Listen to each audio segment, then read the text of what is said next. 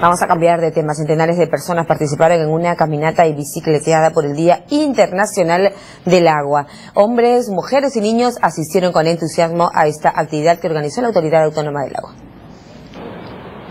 Tomaron conciencia. Con una caminata y bicicleteada por la avenida Arequipa, se iniciaron una serie de actividades programadas por el Día Mundial del Agua, que se celebra el 22 de marzo. Cientos de hombres, mujeres y niños caminaron y pedalearon bajo el intenso sol, buscando crear conciencia en el uso del líquido elemento.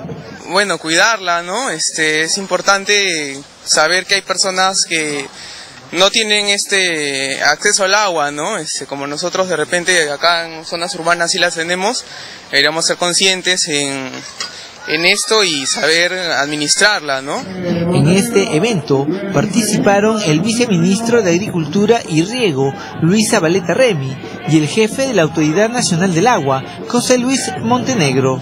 Eh, como ven, es un largo contingente lo que ha venido y el mensaje es de que conservar el agua, el agua es vida, hay que conservarla, hay que cuidarla. Para muchos niños este fue su primer paseo en bicicleta. ¿Cómo estaba el paseo, Eliseo? Bien. ¿Sabes manejar bicicleta o estás aprendiendo? Estoy aprendiendo, pero mi mamá me dijo que me voy a caer. Ah. ¿Y te has caído o no? En esta caminata también se hizo presente Piuf, el primer perro skate de nuestro país.